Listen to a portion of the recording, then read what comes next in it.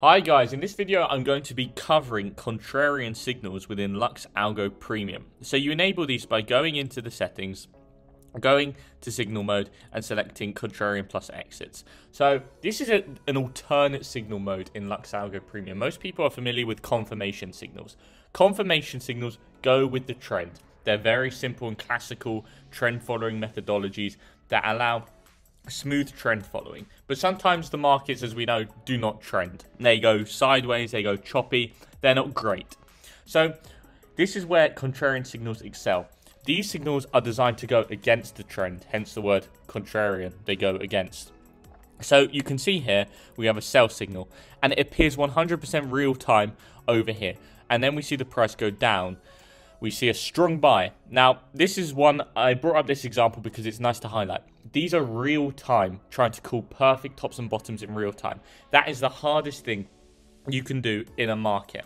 So of course we're going to have signals like this, a strong buy, and it's on this candle. The price does go down a little more, but in like in general, the price does start to trend up. So this strong buy does really indicate a reversal there. And then we get over here, we have another buy signal. Now, it's basically around here on this candle and the price starts to reverse. We get a strong sell right at the top basically on the on the peak candle the price goes down and so on and so forth. So the signals are going against the trend. So newer traders can find this confusing because hey, it's telling me to buy here, it's telling me to buy, but where do I sell? There's no sell signals. So that can be a little confusing. So what you've got to do here is you've got to use exit conditions that you deem deem suitable. For example, I can think of an exit strategy straight away. We can load up the reversal zones that I've uh, previously covered. We can exit when the price enters the top of a reversal zone. Absolutely perfect place to take a, to, to take profit as an example. I've just gone ahead and brought up another example on my chart here of the downsides and the drawbacks of using this method because there's no such method that has a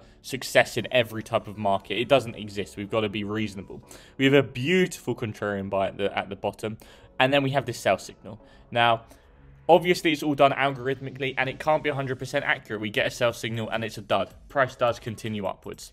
But then, of course, we get a nice strong and it goes down and buy goes up. And then we find another sell. So yes, this sell is calling the reversal, but it doesn't call the exact top. So you can use this in confluence with other indicators to build up an idea of when the market may or may not reverse. And then if you want to optimize these signals, because of course we provide optimization methods, you can use the dashboard. The optimal sensitivity is shown here. So you can go into the settings, you can select uh, in the signal sensitivity, you can change it to 28 and it will apply to your contrarian signal. So now you have optimized contrarian signals on your chart real time designed to catch tops and bottoms in your trading.